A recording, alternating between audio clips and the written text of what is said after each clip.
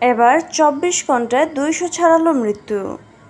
মহামারী করোনা ভাইরাসে আক্রান্ত হয়ে গত চব্বিশ ঘন্টায় সারা দেশে আরও দুইশো একজনের মৃত্যু হয়েছে, যা একদিনে সর্বোচ্চ। এ নিয়ে করোনায় মোট মৃত্যুর সংখ্যা দাঁড়াল পনেরো হাজার পাঁচশো তিরানব্বই জনে। তাদের মধ্যে একশো উনিশ জন পুরুষ ও বিরাশি জন নারী।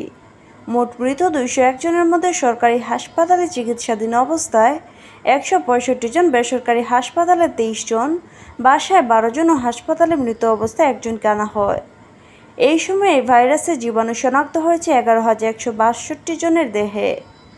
এ নিয়ে মোট আক্রান্ত রোগীর সংখ্যা দাঁড়িয়েছে নয় লাখ সাতাত্তর হাজার পাঁচশো আটষট্টি জনে। বুধবার স্বাস্থ্য অধিদপ্তরের অতিরিক্ত মহাপরিচালক অধ্যাপক ডাক্তার নাসিমা সুলতানা স্বাক্ষরিত এক সংবাদ বিজ্ঞপ্তিতে তথ্য জানানো হয়। বিজ্ঞপ্তিতে বলা হয়, গত চব্বিশ ঘন্টায় সারা দেশে সরকারি ও বেসরকারি ছয়শো পাঁচটি ল্যাবরেটরিতে সাঁত্রিশ হাজার একশো সাতচল্লিশটি নমুনা সংগ্রহ ও পঁয়ত্রিশ হাজার ছয়শো উনচল্লিশটি নমুনা পরীক্ষা করা হয়। এ নিয়ে মোট নমুনা পরীক্ষার সংখ্যা দাঁড়াল আটষট্টি লাখ উনত্রিশ হাজার আটশো বত্রিশটি। গত চব্বিশ ঘন্টায় নমুনা পরীক্ষা শনাক্তের হার একত্রিশ দশমিক বত্রিশ শতাংশ।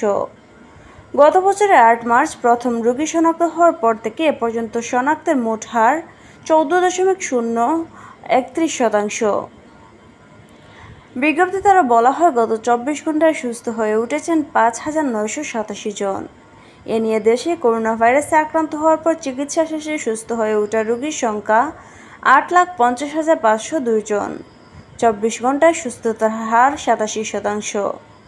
গত চব্বিশ ঘন্টায় করোনার মৃত দুইশো একজনের মধ্যে বয়সের হিসেবে দশর্ধ একজন বিশুর্ধ চারজন ত্রিশুর্ধ নয় জন চল্লিশ ঊর্ধ্ব পঁচিশ জন পঞ্চাশ ঊর্ধ্ব সাতচল্লিশ জন ও ষাট ঊর্ধ্ব একশো পনেরো জন রয়েছেন।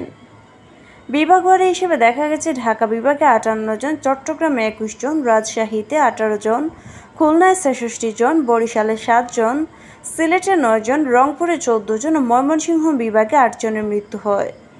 গত বছরের আট মার্চ দেশে প্রথম তিনজনের দেহে করোনা ভাইরাস শনাক্ত হয়। এর দশ দিন পর আঠারো মার্চ দেশে ভাইরাসে আক্রান্ত প্রথম একজনের মৃত্যু হয়।